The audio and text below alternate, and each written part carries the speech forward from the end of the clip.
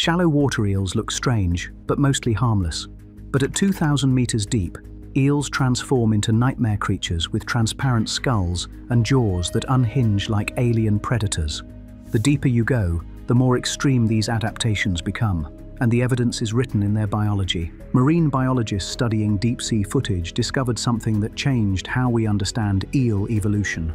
The pressure, darkness and food scarcity at extreme depths didn't just change eel behavior, it rewired their entire body structure into something barely recognizable as the same species. Start with the gulper eel at 3,000 meters deep, as deep as 10 Empire State Buildings stacked vertically. This thing measures one meter long, but 80% of that length is just mouth. The jaw unhinges to create an opening wider than its entire body, swallowing prey three times its size whole. Unfortunately for deep-sea fish, you can't escape something that can literally inhale you from two meters away. The stomach stretches like a balloon because food is so scarce at this depth that gulper eels can't afford to be picky about meal size. Their bodies are almost completely transparent. You can see the spine and organs through the skin. This isn't aesthetic. This is camouflage in an environment where any visible silhouette means death from predators above. Talk about evolution under pressure, but here's what makes it worse. The gulper eel's tiny eyes are almost useless for vision. Instead, it hunts using a bioluminescent lure on the tip of its tail that glows pink in the darkness. Prey mistakes the light for food, swims closer, and gets sucked into a mouth they never saw coming. You couldn't see the predator because at 3,000 meters, sunlight doesn't exist. Zero light penetration means vision becomes a liability. Maintaining eyes costs energy that deep-sea creatures can't spare. The gulper eel evolved to hunt blind, using water pressure sensors along its body to detect movement from 5 meters away. Every vibration tells it exactly where prey is located. In case you needed more proof deep-sea eels are nightmare fuel, meet the pelican eel at 4,000 meters. This creature makes the gulper eel look normal. The mouth opens at a 180-degree angle, completely flat, creating a net that scoops up everything in its path like a living trawler. The jaw has no bones, just flexible cartilage that bends in ways that shouldn't be possible. Then, a 2012 study from the Monterey Bay Aquarium Research Institute revealed something disturbing. Pelican eels can swallow prey so large that their stomachs rupture the skin, and they survive anyway. The tissue regenerates within 48 hours. You couldn't design a more efficient eating machine because the entire body exists just to consume and process food in an environment where the next meal might not come for months. Unfortunately for anything living at these depths, Pelican eels travel in loose groups of 10 to 15 individuals. When they detect prey, they form a living net, coordinating their mouth positions to eliminate escape routes. The prey can't dodge because every direction leads into another gaping mouth. Fossil evidence suggests this hunting strategy evolved 15 million years ago and hasn't changed because it works perfectly. But here's what makes deep-sea eels uniquely terrifying compared to shallow water species. The pressure at 4,000 meters equals 400 times atmospheric pressure at sea level, equivalent to having a school bus sitting on every square inch of your body. Normal fish would be crushed instantly. Deep-sea eels evolved bodies with almost no air spaces, no swim bladders, and tissue so flexible it compresses without damage. This means they can survive pressure changes that would kill any other creature. A 2018 study brought pelican eels to the surface for research, and they survived in regular aquarium pressure for three days before scientists returned them to depth. No other deep-sea organism can handle that pressure differential. You couldn't design a tougher animal if you tried. In case you needed more proof evolution creates nightmare creatures at extreme depths, consider the snipe eel at 5,000 meters. This species measures 1.5 meters long, but only 2 centimeters wide thinner than your thumb. The entire body is just spine, muscle, and digestive tract, nothing else. No fat reserves, no extra tissue, just the minimum biological components needed to hunt and reproduce. The jaws curve backward like a bird's beak, hence the name, and can't fully close. They're lined with 600 tiny hooked teeth pointing inward. Once prey touches the mouth, the teeth hook in like Velcro. The more the prey struggles, the deeper the teeth sink. Talk about a trap you can't escape. Unfortunately for small crustaceans, this jaw design means 100% capture rate once contact happens. Then marine biologists discovered something that explains why snipe eels look so alien.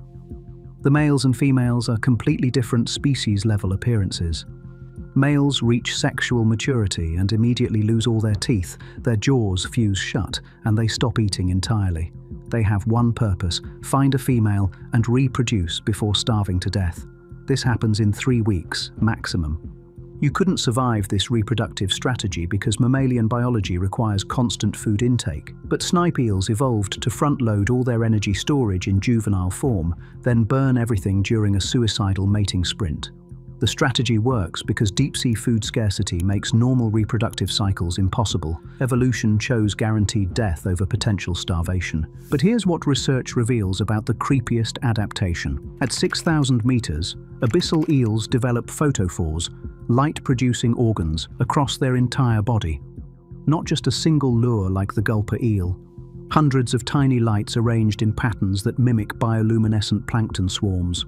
Prey sees what looks like food everywhere, swims into the pattern, and realizes too late they're swimming into a mouth lined with needle teeth. The lights aren't just for hunting, they're for communication between eels across distances up to 100 meters in complete darkness. Each light pattern is a language, mating signals, territorial warnings, distress calls. Scientists using deep-sea submersibles recorded 47 distinct light patterns from a single species. No modern language has that many unique expressions for basic survival needs. In case you needed more proof these creatures operate on entirely different biological rules, consider the fangtooth eel at 7,000 meters. Deeper than the Grand Canyon is tall. The teeth are so large they can't fit inside the mouth. Evolution solved this by creating grooves in the skull where the teeth slot in when the mouth closes. Otherwise, the eel would stab itself through the brain. Talk about extreme adaptation. The fangtooth has the largest teeth relative to body size of any fish in the ocean. 6 centimeters long on a 15 centimeter body. That's like a human having 40 centimeter teeth. You couldn't chew, couldn't talk, couldn't function. But fangtooth eels don't chew. They grab prey, then swallow it whole while it's still struggling. Then a 2020 study from Japan's Marine Science Institute revealed something that changed how biologists understand deep-sea survival. Fangtooth eels can survive without food for eight months. Their metabolism drops to 5% of normal function, entering a hibernation state while still swimming and maintaining awareness. The moment prey appears, metabolism spikes back to normal in under 30 seconds. This means deep-sea eels are always hunting, even when they look inactive. You couldn't tell if an eel was in hibernation or active hunting mode because the body doesn't change appearance. The first sign of danger is when the jaw snaps forward at speeds faster than human reaction time. By the time prey sees movement, they're already caught. But here's what makes the deepest eels truly alien. At 8,000 meters, the Hadal zone, eels lose all pigmentation. They're ghost white, semi-transparent, with visible organs pulsing inside. The eyes shrink to pinpoints or disappear entirely, some species evolved pressure-sensitive nerve endings where the eyes used to be, essentially seeing through touch. Hadal zone eels have lifespans exceeding 100 years, despite living in the most hostile environment on Earth. Growth rates are so slow that some individuals gain only one centimetre of length per decade. But slow growth means extreme efficiency. These eels require 95% less food than shallow water species of the same size. Evolution traded speed for endurance. In case you needed more proof, deep-sea eels represent evolution's most extreme experiments. Consider reproduction at 8,000 meters. Females release eggs only once every 10 years. Males can detect these eggs through chemical sensors from 5 kilometers away through pitch-black water under crushing pressure. The fertilization rate is 98%, despite the impossible odds of finding each other in an ocean trench. Talk about biological perfection under constraints. No modern shallow water species achieves this level of reproductive efficiency. The difference? 8,000 meters of pressure forced evolution to eliminate every inefficient trait.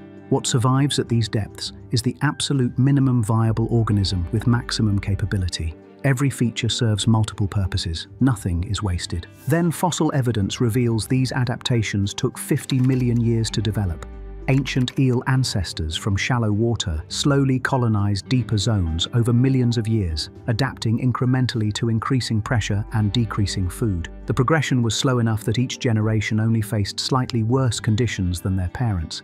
but compounded over 50 million years, the change produced creatures that share almost no features with their shallow water ancestors. The deeper you go, the more extreme these changes become. At 1,000 meters, eels look strange. At 4,000 meters, they look alien. At 8,000 meters, they barely qualify as recognizable life forms. And yet they're highly successful. Deep-sea eel populations remain stable, while shallow water fish face extinction from overfishing and habitat destruction. That's why eels get creepier the deeper you go. It's not random mutation or evolutionary accident, it's precision engineering under the most extreme selection pressure Earth offers.